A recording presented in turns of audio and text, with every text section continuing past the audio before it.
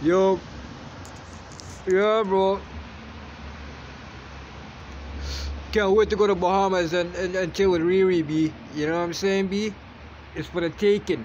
And guess what? Rihanna chose me, guy. Rihanna Fenty. Guess what? I'm her man official, bro. You know what I'm saying, G?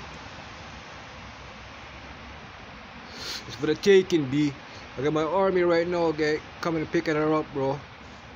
Any man come near her, it's gone, bro. Right now, I prevented four drone attacks on Toronto, fams. On the Good Shepherd Ministry, on City Hall, on uh, what do you call that station, the GO Station, on Weston, and on Weston on Lawrence businesses, bro. I prevented four drone attacks. Uh, this is like high-tech drones, bro. Like, this is not the type of drone that comes down and right away sprays. It's a type of drone that comes down. It's like a living drone, bro. It's got swag and attitude, B. It speaks 50, 50 uh, uh, decimal languages, you know what I'm saying? Like, from universe, it speaks like so many different languages, right? 50 decimal, like 50, comma, 000, 50,000 decimal languages it speaks.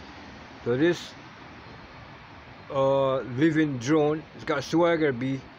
He looks at you, up and down, shakes his head, asks you a couple of questions. He says, "Yo, you know, I'm not, I'm not, I'm not who you're looking for." And he sucks his teeth. You know what I'm saying? And he just leaves. And they ask you, "What do you want?" You know, has certain questions they ask you, "What do you want?" You know. So I spoke to the drone. I said, "Yo, drone man, you know, I have to lay off from those locations, four locations. I have to override it." And send them back. So the Good Shepherd Ministry could have been flattened right now. The City Hall could have been flattened right now. The GO stations could have been flattened right now.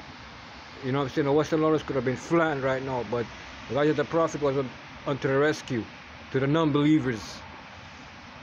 To the atheists, the Gnostics.